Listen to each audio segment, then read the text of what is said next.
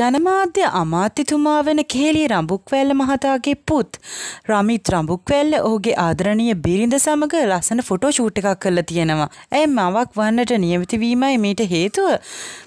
ඉතින් මේ pregnant shoot එකේ ෆොටෝස් කීපයක් තමයි මේ.